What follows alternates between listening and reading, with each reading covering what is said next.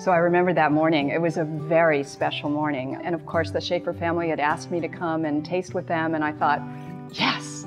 And then I thought, ah, me, oh no, um, because I knew how special this was. And, and even though I'd been to, to Shafer many times before, I had never come and tasted, obviously, the entire range of Hillside Select.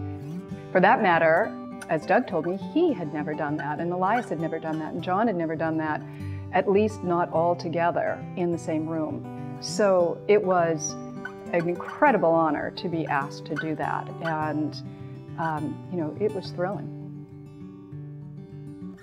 There's something to be said for tasting over and over again a single estate to kind of learn how a wine can tell the story of itself, its place, its place in time, and, how a wine can tell the story of its owners as well. I love the wines of the late and mid 90s.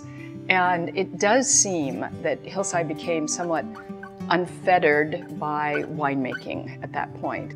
But the wines have a beautiful personality, and those are neither old wines exactly, but of course neither are they young wines. So they're fascinating to taste because they're right in mid-prance.